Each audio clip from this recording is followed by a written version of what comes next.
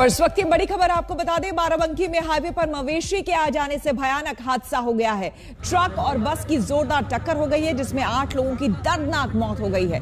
तस्वीरें आपको हम दिखा रहे हैं। ये देखिए, ट्रक और बस की किस तरह से टक्कर हो गई है। आमने सामने की हेड ऑन कॉलिजन यहाँ पर लग रहा है और तमाम यहाँ पर पुलिस अधिकारी यहाँ पर मौके पर मौजूद हैं। अब क्रेन से हटाने की कोशिश की जा रही है, लेकिन सबसे दुखद पहलू इस बात का और इस हादसे का ये रहा कि आठ लोगों की इसमें मौत हो गई है। तो उत्तर प्रदेश के बाराबंकी की यह घटना है, जहाँ पर ट्रक और बस की आमने सामने की टक्कर हो गई है। मवेशियों के आने की वजह से बहराइच जा रही, आपको बता दें, दिल्ली से बहराइच जा रही बस बेकाबू होकर सामने से बालू लदे ट्रक से टकरा गई जिसके बाद यह हादसा हुआ।